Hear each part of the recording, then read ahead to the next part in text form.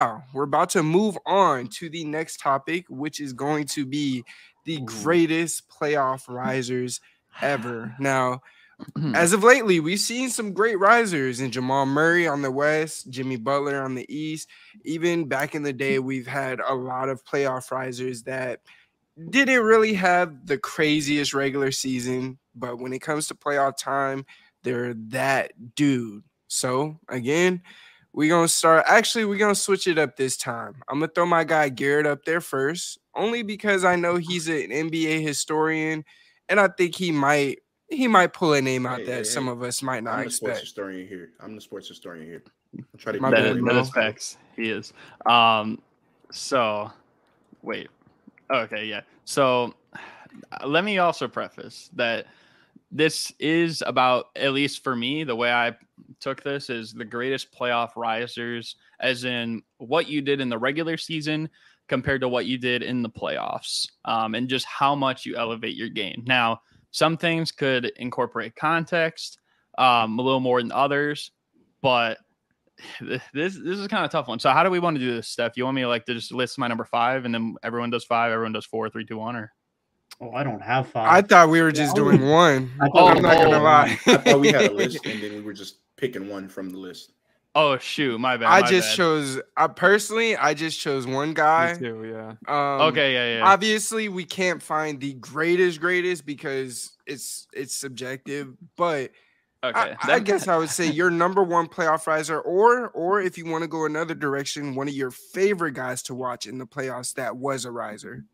that that makes it a little bit better because I was probably gonna throw out a few names near the end that you guys would have been questioning, but um, I'm gonna go. I'm a- it's I'm gonna be so based. uh, I guess with this answer, it's gonna be so obvious, but I gotta go with the greatest player of all time, and that is LeBron Michael James. Jordan. And that is Michael Jordan. Um, when when you're talking about MJ and the the ultimate scorer in the playoffs, the guy led the scoring or he led the league in scoring in the playoffs like 11 times. I mean, that that's just absurd. And the times he That's didn't, he still was averaging like 31, 32, 36. My goodness. Okay. And at the same time, too, like the reason I had to put him like as my primary one is when you think back to every NBA legend, you can always think back about something. You know, like when we think of LeBron, we can think of the 2011 finals. When we think about Kobe, some people bring up the 2004 finals. We think about Tim Duncan. We think of the 2011 first round against the Grizzlies. It's like you got to incorporate, I think, the whole big picture. You got to add in everything. Now, when you're talking about Michael Jordan and like what series he played bad in, the worst series you could probably find would be 1995 when he came back against the uh, Orlando Magic off baseball and he still put up 31 a game. And even Oh, Shaq himself has actually. and and even even Shaq himself has said that he was still the best player in the world in that series at that point in time. I'm not holding that against him. That was an insane series, if you ask me. He still played well. Now there were some little things like yeah, at the end of game one, he got stripped by Nick Anderson, and I know that's always going to be out there and stuff like that. And there's like one in one of the games, he had like one air ball in the fourth quarter that always gets played. But overall, if you ask me, my, still Michael Jordan, there is no series that you can look at and be like, oh yeah, like he, he was just bad in that series. The same way we look at every other player today. You know, like the the worst scoring series he had, he averaged 26 and a half points a game. Think about that. 26 and a half points a game was his ultimate, it was his lowest point, right? Every single player he played in the playoffs, he outscored ever in history, in playoff history. That that's crazy. And you think about it, it's like, oh, well, if he'd only played 30, 40 games, this guy's played like 180 games basically in the playoffs. That's up there with one of the most ever. When you think about the finals, he only elevated his game even more. Has the highest scoring average for a single final series ever. And he had over 40 points per game five times in the playoffs. I think it's only been done eight Yeah. times. Eight times in playoff series, they someone has averaged 40 points a game. Michael Jordan has five of them. Five. Okay. So That's wild. I'm- That's wild. Yeah. And And like he almost persuaded me. and it's not like he only j- just did it like in scoring either. He's still, I believe, I don't know if actually it was changed in the last two years, but I know up to up to last year, guess who had the record for the most assists per game in a final series? for a non-point guard, Michael Jordan. Really? Michael Jordan, the guy who only scores, he's a ball hog, he doesn't pass, and at the same time, he averaged like 7 assists a game in like 10 other playoff series. This guy always elevated his game. He is the ultimate winner. He's the ultimate competitor, and probably not just basketball, but in all sports. Like when you think of the greatest athletes ever, Michael Jordan's name is probably the first one you think of, or one of the first ones you ever think of. And for that reason alone, I know he has high standards in the regular season to compare it with because it's like he has like five MVPs. He was All NBA first team a lot of times too. But when you think about you're still elevating your game in the playoffs to that degree, I have to put him number one. And, and there were a few other guys I thought about too, but n- nothing compares to Mike. So give me Michael Jordan. All right, Garrett, I hear you. And uh, before I respond and give my opinion, um, that's such an American take. You said Michael Jordan is the ultimate winner and the probably one of the the well, he is one of the first names you think of, but that's that's an American take, and I'm not gonna push back on it too hard because this is a basketball show, and that's not a basketball uh opinion that I was gonna share out. But uh, yeah. So with mine, I will. Okay, respect, respect Brian. Okay, respect Brian Kiara. Uh, enough about your enough about your gamble. Enough about your gamble. Um, this player might come out of left field, and it might take a little bit of convincing for me to uh, actually persuade you guys. But I mean, we just saw championship run, Finals MVP. Give me Nikola Jokic now. Nikola Jokic, to this point in his career, has been stellar in the playoffs. You think about one of the few players whose efficiency goes up in the playoffs. He was averaging something ridiculous, uh, very, very close to 50, 40, 90 in this playoffs. I think it was close to like 55, 40, 90 or something like that. So, yeah, Jokic, we all we all know that Jokic is an efficiency monster in the regular season. For him to carry that during the the postseason where the defense is tighter and you're not going to get as many open looks as you would compared to the regular season. Supremely impressive. And I want to also bring this up. During this playoff run, he dropped 43 points in a loss, 53 points in a loss, and 41 points in a loss. That was three different series he did that, three different games, all of them ending losses. Obviously, I wouldn't put the losses on him, and a loss is a loss. So you're not gonna give you're not gonna get brownie for losing but like that's a it ain't it ain't very much else you can uh, ask for your star player to give you 40 points and 50 points and you still end up losing. Another thing I want to bring up Jokic has uh, three games in the playoffs where he scored uh, within 40 to 49 points. He has one 50 point game. Obviously, we just saw that this season. He has 22 games where he scored from 30 to 39 points. Now, if you add that up, 22 plus 3, 25, 26, if you add the 50 point game, he's started 68 playoff games and he has 26. Did I, yeah, 26 where he scored at least 30 or more. That's a high pedigree. You also want to look at he's a double double machine in the playoffs because he's already a great rebounder. That doesn't really go away during the playoffs. He has 50 total uh, playoff double doubles again in 68 starts. And if you want to go even further, because we know Jokic is a great assist man, we know he's a, a elite passer. He has 16 triple doubles in 68 starts. I know that his playoff success has only come recently. You know, with him only having uh, the the one ring and two conference finals trips. But Jokic is a stellar playoff performer, and I think he kind of gets overlooked um, by playing with Jamal Murray, which is a crazy thing to say because we think of Jamal Murray as like one of the best playoff risers today, and he absolutely is. He's I'm, I'm not taking that away from him. But when you look at Jokic and some of the things that he was doing when Jamal Murray was hurt, when Michael Porter Jr. was hurt, go go rewatch that um rewatch that Warrior series. He was great during that Warrior series. A lot of people try to say, "Oh, Draymond, you know he he he did his thing defensively." He really didn't. He really didn't. Uh, another series that I can point to the Trailblazer series, where I think didn't Dame drop 55 in a loss or something like that? And mm-hmm. that series, he was great. So I can point to multiple series where Nikola Jokic has just been stellar. Um, so yeah, he's my pick for that. He's my pick for one of the best playoff risers of all time. And I think we're going to see a lot, a lot more of Jokic rising in the playoffs very, very soon. For sure. So when it comes to playoff risers, I was thinking more players that I was alive to watch and witness, and I enjoyed like playing and saw the greatness. With Michael Jordan, like Garrett, you made an absolutely great point, and I would argue that he probably is the greatest playoff riser of all time. But I was not alive for a lot of this. I enjoyed watching the man behind Jay give me Kobe, Bean, Bryant for the best playoff riser in my lifetime. I like Kobe a lot. Personally, I feel like everybody here, I, I don't think there's a singular, there's not very many people on this planet that do not have Kobe Bryant as one of their favorite players of all time. So I understand that doesn't have a lot to do with playoff success, but a lot of the times public reputation and enjoyment of a player comes through the playoffs, and I'll explain to you exactly why.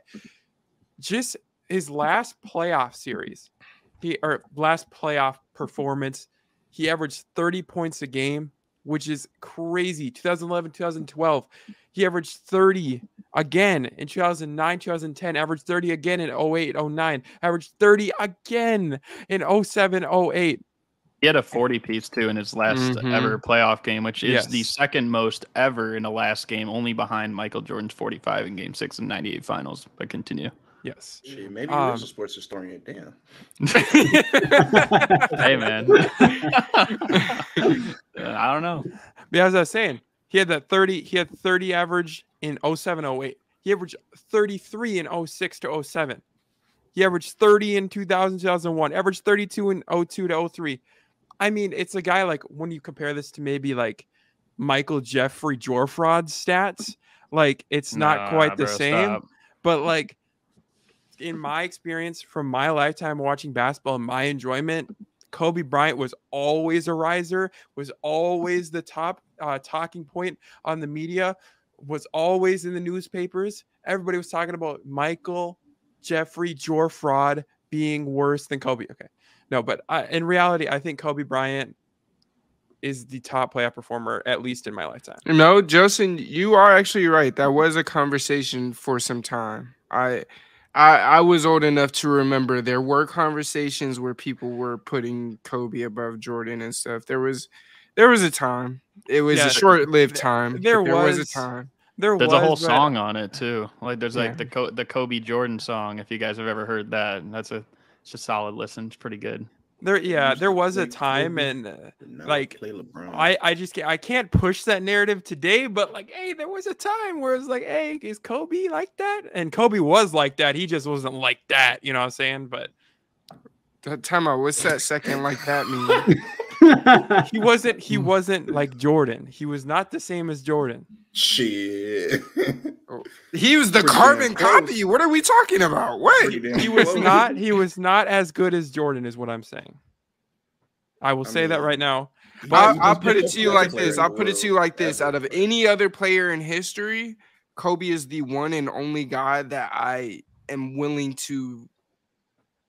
Yeah, that I would be willing to bet on against Jordan if he faced Jordan in the finals. The I mean- one and only guy. That's by the way. fine. He's the cl- he's the closest comp, but I Yeah. I still wouldn't say he's like on that. You know, yeah, I level. agree. Like that's the thing. Hey, you're preaching to a guy that loves Kobe Bryant over here. I love Kobe, but It don't sound like it, but your turn, give- Devin. No, no, no, no. no, no. I'm a I'm true, I'm a I'm true Kobe lover, and I'm gonna tell you now. You're a Lakers fan, so you're a Bro Lakers took his fan. key holder abilities. He's like Devin's turn. But I, I, what I will tell you, what I, what I will tell you is, I'm not a Lakers fan. I enjoyed watching Kobe play, but I'm going to be objective here and say that he was not the level that Michael Jordan was. But Kobe Bryant, for a time period, for sure, was. People were talking about it. I thought it was. I thought It it, was fair for a time. it just kills me because you started off this argument with "I've never seen Jordan play, so I can't say Jordan," and then you go No, but say here's Jordan's kinda- better that is like that. True, yeah. here's That's thing, the no, part no, no. that's like it doesn't. No, no, no. I, I think I think Jordan's better, but I'm not going to put Jordan on that list because I never got to watch him personally with my eyes. So then, how is he better? Because you've never. That, never mind. Garrett kind of convinced me. Yeah, I mean, lie. I, I, Like, I see, I see what Steph's saying. Like, I mean, first of all, Jelson, we, we we both know Jordan's the correct answer here, but I mean, I see what Steph is saying. Like, that it Yeah, did kind of contradict itself. Okay, true. Okay, I, what I would tell you is what I'm trying to say is Michael Jordan was probably the greatest playoff uh, riser, but in my lifetime, Okay, Kobe That's fair. was the best. Fair enough. fair, fair. Devin, my brother, why do I feel like I'm gonna get a Raptor? You are. You It are. better gonna not be get Kyle I knew Lowry. it. Oh, it's Kyle Lowry. It's Kyle Lowry. it's Kyle I- Lowry. Come on now. That man had a goose egg and too many single digit stat lines to be get, putting him as the greatest playoff riser. he got a- greatest a playoff holder for like four years, maybe. But he did finally figure it out and he did get his ring. But this is definitely not Kyle Lowry. It is another K though. Another KL. It is Kawhi Leonard. Let's go. I've seen it right in front of my eyes, and it's it's just too hard to ignore. And he's just done it time and time again. And he did it before he was even a star. He did it when he was just a role player in San Antonio. When he rises defense to the occasion, his offensive numbers would be better even still as a role player. He could rise to the occasion and win a Finals MVP when he still wasn't the main guy on the Spurs before he was that true superstar that we all know him to be now. He was he just wasn't that guy back then, but he came out in the postseason and did what he needed to do. And he, he's just been at that type of level his entire career now. He's always been someone who's rose to the occasion. He's got a higher field goal percentage and higher three point percentage during the postseason than he does during the regular season for his career. And it's not, even though I don't agree with it, there's a reason why people said that he carried this Raptors team to a ring for stretches of it. I don't agree with a lot of that, especially throughout the back half of that run. But there's a reason why people said it, and that's because Kawhi was so damn good time and time again. And even though he's had his injury concerns with the Clippers, that hasn't stopped in, in LA. He's continued to just rise to the occasion in LA. He's got a 28 point per game, a 30 point per game, and a 34.5 point per game postseason run, given that last one was a two game stint. But point being is Kawhi shows up during the postseason. He continues to produce. He continues to be more efficient. And especially now at this point in time in his career, his defense goes from being good to very good, if not elite, compared to where it is in the regular season. So he's done it from day one to where he is now as a superstar. And that's what makes it so impressive. Even as a guy who didn't enter the league as a star, someone who had to make a lot of improvements throughout his career to get to where he is now and took a lot of time to get to the point where he was an all star. I mean, it was year five until he made his first all star appearance. He's just shown from day one, from being a role player in San Antonio to winning the chip in San Antonio to winning the chip in Toronto, and now trying his best despite the injuries in LA to try and get them a chip. And he just continues to time and time again show up on both ends of the floor, continue to produce, and continue to be more efficient. I'm so glad you said Kawhi, Devin, because that was who I had number two on my list. Because, like I said, I originally made five. He was the guy I had right below Jordan. Because when you think about Kawhi, especially since he's been like a star level player, and even before, like he's always shown up. Like the only time you could use against him is that game seven in the bubble. When really in the first half too, he was still pretty good. Even if he played just as good in the second half, had a quality game, they probably weren't going to win that game. It just has been the narrative at, up to that point. Like the whole Clippers team, like had so many issues at that point in time. They, it just wasn't going to happen. But when you think about 2021 and he took the Luka assignment, especially when they were down 2-0 twice, and he brought them back. I know he didn't finish the last series, but he still got them back to 2-2 in both of those. And like I said, took the Luka assignment when he was guarded when he was guarding Luka. Luka struggled. Like people don't want to mention that. Like in those shot attempts, he most definitely did struggle. And you wouldn't think that because like, bro, Luka's averaging like 30, like almost a 30 point triple double. But go check like what Kawhi did to him when he was defending him, and he most definitely made him struggle. People also never want to talk about how in the last three games of the 2014 finals, hey man, I know I am a a LeBron hater as I am labeled, but in the last three games of that finals, objectively, Kawhi Leonard was better than LeBron James, and that is just facts. Like you can you can go check that back however you want to. It was just the reality of it. 2017, he was insane. Now he had that injury, and really injuries are the only thing that's been stopping him. I think 2019 that might be the one of the best runs in the last decade, and I kind of said that a little bit last stream. And then even this year, again, he proved even in sh- short notice that come playoff time, he's a completely different breed. So I, I I completely agree with you. I think maybe in terms of um I don't know, like he's the only person I think you could have argued maybe at least in my opinion with Michael Jordan for the number 1 spot just because of in the regular season he doesn't care so much about the accolades and whatnot whatever. He only had like one year where he was in like a real MVP discussion in like 2016 like that even then like that was the unanimous MVP year so he wasn't going to win it but like he was the runner up that year. Um, but other than that, like, you know, in the regular season, he's kind of just been like, it's whatever. Come playoff time, though, like he turned into, in my opinion, still when he's healthy, the best player in the world.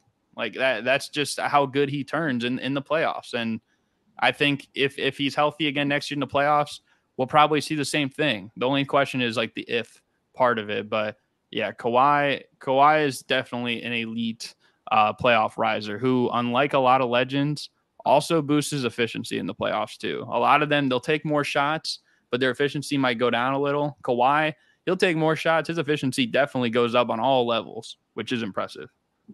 See, uh, I, I like that take. Definitely Kawhi. Um, speaking of efficiency, I'm going to call out the most efficient player, damn near in NBA history when it comes to the playoffs, and that's Lego, LeBron James, obviously. And I'm not going to lie, it was really the 2018 playoffs is what did it for me. I'm not gonna lie. 2018 LeBron James, I've never seen a better basketball player in my life. 2018 LeBron James dominated every single time he stepped in, stepped on that basketball court. From that seven game series with the Pacers in the first round, that was absolutely amazing. The way he finished that out. Then in uh in the uh in game seven with the Boston Celtics in the Eastern Conference Finals, phenomenal. I'm, I'm surprised the Boston Celtics, that young squad, had enough firepower for LeBron James, despite having uh, uh, George Hill on his team, uh, old ass Kyle Korver, J.R. Smith, and these guys. But then that then making it making it to the finals in that first game, game one, of that NBA Finals, absolutely insane. A 50 point triple double. Unfortunately, J.R. Smith did a J.R. Smith thing, but I think if they won that game, that series may have turned out a, a bit different Stop it, because stop it. Warriors in five. Stop. Literally. because 2018 That, that's all it would have been, if anything. because it would have been a- a repeat of the two- James- I- 2001 finals, it would have been just a repeat when Allen Iverson won game one for the Sixers and then they got mopped the next four games. LeBron James is not Allen Iverson. But with that being said, I've never seen might be worse. another I don't know. player come up come up big in the clutch than LeBron James. I'm not gonna lie. You could go to 2016, that big block on Iguodala. I mean, making play after play to solidify the 3-1 comeback. I don't know how anyone else could choose someone that's not LeBron James. Shout out to Bron, man. Man, Kyrie made the clutch play in that game. Let's be real. Like Oh wow. As as Um, much as people no, it's here's here's the reality of it though. Here's the LeBron reality of it. in action. Everyone says that LeBron got that block and oh, it changed the momentum. It did not change the momentum because right after that play, LeBron came back, took a horrible shot, then a timeout was called. All the momentum was killed, but then it, the game resumed, and Kyrie Irving hit the clutch shot that essentially won them the championship. So Okay, uh, now- you now- can say now what whatever you want when about that LeBron, block. LeBron doesn't block the shot. Now what are we saying? Okay, because like Well, Three- it doesn't three still then needs to go in, but like Garrett, in the last Yeah. four minutes, the Warriors didn't score. It was a it was Yeah. a combination of bad shots and the LeBron block, which saved two points, which I believe would have put them up because I think they were tied at that point. And There's also no guarantee that it even would have went in because he was running fast. You saw he that- he turned on the that he turned on the layup was going Jets. in, bro. He That layup d- was going in. mm, really? I don't know. That, I don't know. that I- layup It, it had going in. potential to miss because he he turned up the Jets and like he was scared Dude, that LeBron it's was coming. Dude, LeBron. But he could have missed even if he didn't No, no. block it. I'm saying. What, what I'm saying. the fear of God in that man for a reason. I'm gonna be honest. I'm gonna be honest with y'all. Without J.R. Smith in that play, that doesn't. It's not a block because J.R. Smith is what Nah, caused sure. Andre Iguodala to come back too. down and go For back sure. up. And LeBron also ran 94 feet. Oh, no, for sure. his ass. No, for sure. But, But, I, I I just don't agree with the people that say that changed the momentum in the sense where it's like okay, that that gave the Cavs momentum because it did not. There's people out there that say that that gave them momentum. Maybe you can make an definitely gave them- argument It that it, definitely gave him momentum. momentum. but it, it it couldn't have because then after that LeBron took a horrible shot. Then the Warriors came down. I think they missed, and then it was a timeout with less than a minute left in the game, or like just over a minute left in the game. It's still tied at 89-89.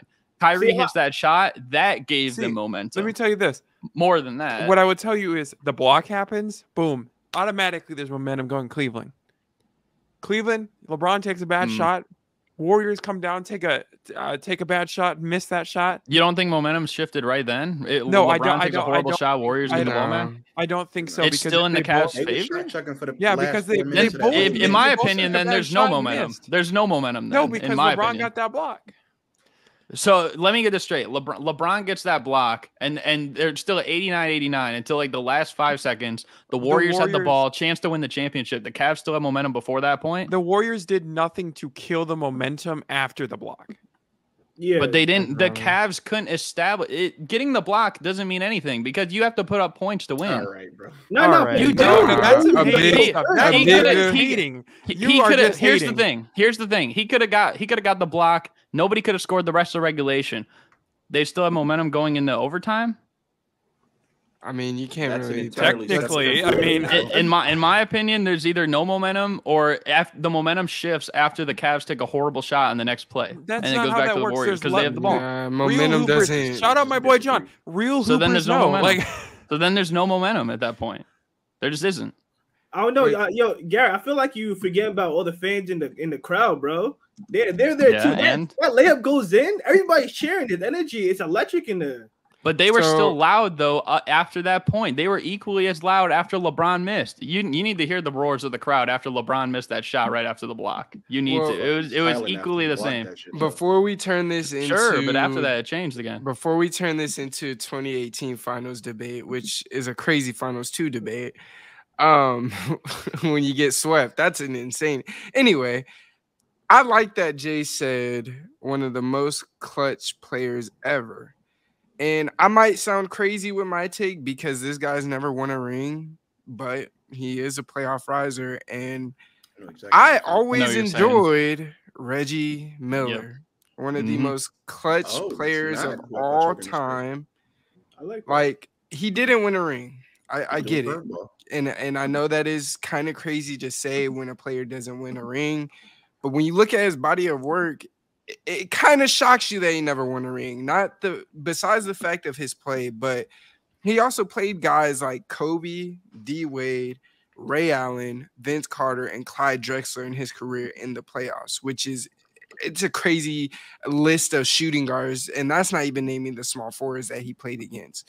But Reggie Miller's ability to create offense for himself without the ball, we were based. He was essentially Steph before we got to see Steph, but Steph kind of brought the range back further, whereas Reggie Miller, he did not stop moving without the ball. That's just something he wasn't gonna do. But even past that, one thing that I loved about Reggie Miller the most, and again, you mentioned clutch. In elimination games, he averaged 25 points per game on 62% true shooting with only one, a little under two turnovers per game from 1990 to 2002. That- that- that's insane. And I'm going to be honest, I think Garrett can even attest to this. Reggie Miller was a guy that Bulls fans were they were pretty scared of for for a little bit, and then obviously Michael Jordan is Michael Jordan, so that Mm. kind of was short lived. But Reggie Miller is still one of those dudes when the playoff comes.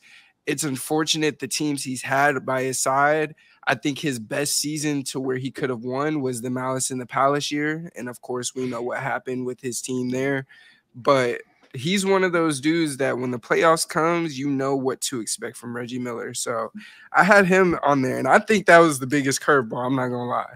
Steph, Yeah. I'm glad you mentioned Okay. Reggie Miller because he has one of the most, I say underappreciated now, but it's basically one of the a, a forgotten gem of like all time clutch moments when he stepped Mhm. back and hit that three, literally catches the ball, steps back because he knows he needs the three points and just laces it. That's that's one of the most uh, underappreciated moments to me, and it's unfortunate that it's basically forgotten a time now. You know, when I was watching uh, when I was watching ESPN and they would have the uh, I forget exactly what they were, but it was like old uh old document not old documentaries, but like documentaries that delved into some of the older playoff series. 30 for That 30. that- Mm. not not it was I don't Oh. think it was 30 for 30, but uh it, it was it was something it might have been 30 for 30.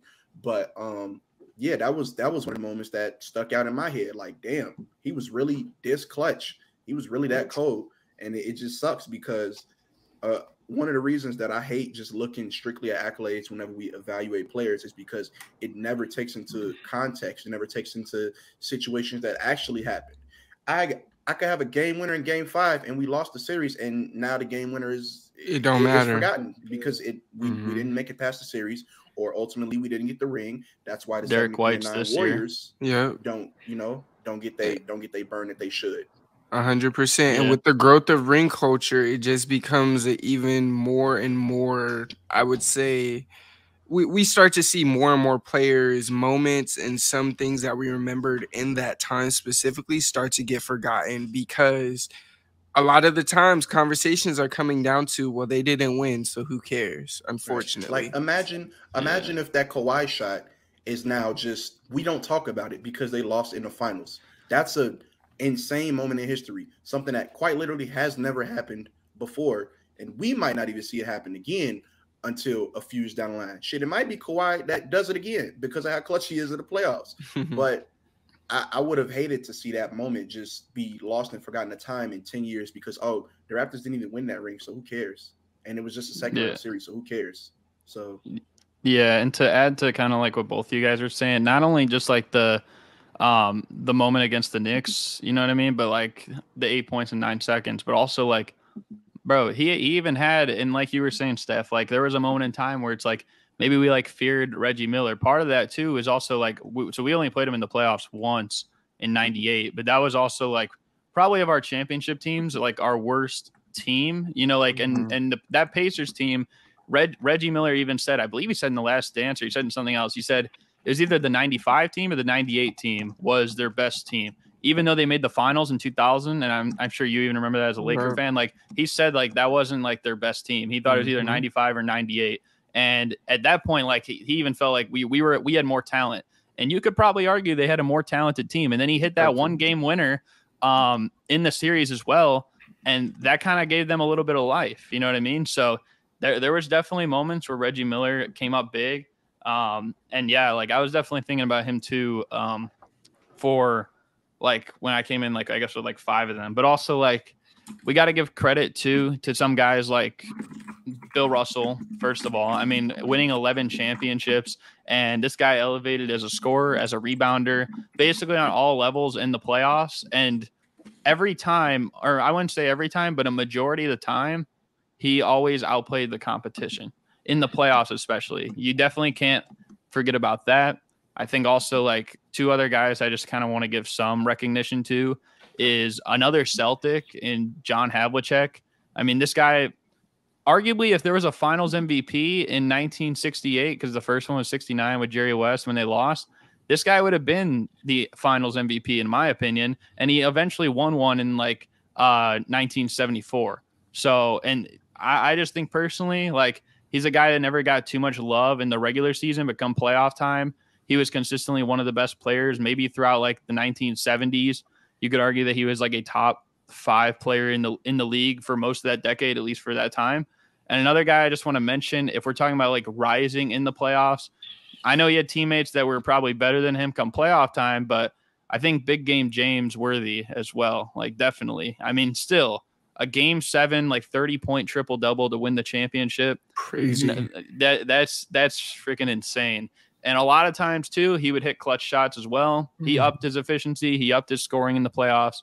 So I got to give a couple of those guys the nod as well. Like just when we're talking about who elevates their game the most in the playoffs, because regular season, especially those last two between Havlicek and um, um, Worthy, like they never got like too much love in the regular season that you would think. Like neither of them were ever like a regular season MVP or anything like that. Not like really first team All NBA nods, many there is, but come playoff time, like you could argue that they were probably top five players in the league at some point in time, um, even for James Worthy, especially in like uh, 1988. So I, I just wanted to give them uh, some appreciation as well. Man, stop all that pandering. Just we got because we got a Lakers fan that's key holder. Man. I'm stop. I get. I, I Uh, said two Celtics before that though. Nah, I, I'm just bullshitting. I'm just bullshitting. But um, This is the most fair. Laker positivity I've heard in so long. yeah, I love that- it. Hey, if I'm if I'm here for next stream, none of that shit, buddy. But uh, uh, just real quick, I well, I won't be here, so you don't have to worry about that. He doesn't. he doesn't have uh, the the career like games played playoff yet, and he's still very young in his career. But I'd be remiss if I didn't mention Luka. Um, second all time in playoff points per game behind only Michael Jordan, and he's the only other person that is scored 30 points per game. Uh, Michael Jordan 33, Luka 32. Uh, I'm not gonna call him uh, one of the all-time playoff risers yet, but I think we're starting to see the seeds of like a player that can be one of the all-time playoff risers. You look at what he's done; he's faced two very, very good Clippers teams already, and both of them, both of them were hard outs, right? I know they lost the one series; they lost both of them, I think. Uh, Yeah. Don't quote me on that because I might be wrong. They did. But uh, yeah, they did. So both hard outs, and then made it to the Western Conference Finals. This dispatch to the Suns, and again, he listen.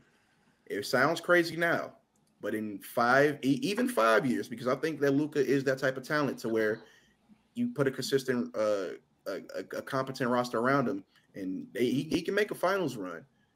Five, ten years, I think we're going to be talking about Luka as one of the uh, top playoff uh, risers in the league. And shit, after his career's over, we might be talking about as one of the best playoff performers, playoff risers of all time. But that's all I had on that. And one last thing to add into, I'm sorry, I, I forgot No, about this, but we just didn't really talk too much. I know Mo kind of mentioned a little bit, but we didn't talk too much about Jamal Murray, who does have the ultimate scoring jump from the regular season to the playoffs. And if, especially if I'm if I'm putting like in my group of players, players that don't have too much regular season recognition, come playoff time. I mean, you even like I think we even talked about it, Steph, a while ago. Like that you you said like I think Jamal Murray, or you've been saying for a while, he's like a top twenty five player in the league. And especially come playoff time, you could even argue he's like better than that, just because he always rises to the occasion. I didn't give him maybe the Mhm. same recognition, just because I think everyone like on my list I had they won multiple titles and they played at least like ten or so playoff series. So he'll be there in short time, but um, like with my qualifications, I guess. But um, either way, like we, we still got to give him recognition as well because hey, they don't they don't win the championship without Jokic, but they also don't win it without Jamal Murray. A hundred percent. We all know I'm a Jamal Murray endurer over here, Mo for sure. Cause I'm not gonna lie, I did rank him. I want to say it was top 15 before the season last year. I wasn't wild. wilding, I was early. Um, All right, buddy. But with that being said,